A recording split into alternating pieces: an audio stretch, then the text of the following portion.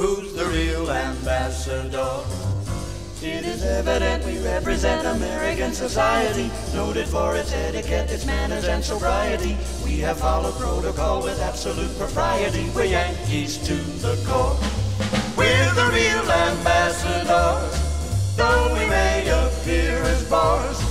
We are diplomats in our proper hats. Our attire becomes habitual along with all the ritual. The diplomatic been analyzed and criticized by NBC and CBS. Senators and congressmen are so concerned they can't be said. State Department stands and all your coup d'etat has meant success and caused this great uproar. Who's the real ambassador? Oh, yeah, the real ambassador. Who's the real ambassador? It is evident we represent American society, noted for its etiquette, its manners, and sobriety. We have followed protocol with absolute propriety. We Yankees to the core. We're the real ambassadors, though we may appear as foes. We are diplomats in a proper hands. Our that becomes habitual, along with all the ritual. The diplomatic corps has been analyzed criticized by NBC and CBS. Senators and congressmen, so they can't say state process. On who does meant sex cause that great uproar. Who's the real ambassador? Yeah, the real ambassador. I'm the real ambassador.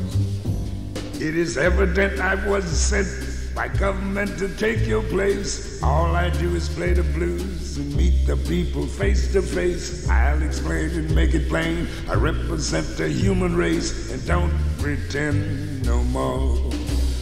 Who's the real ambassador? Certain facts we can ignore.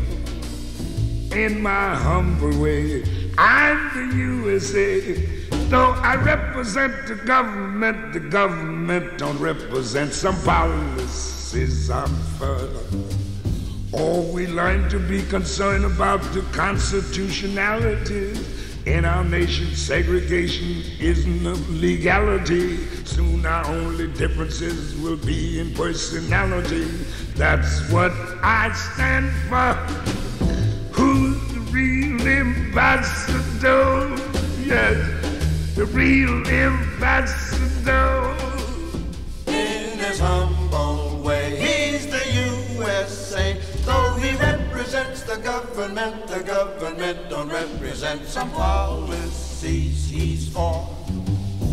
Oh, we learn to be concerned about the constitutionality.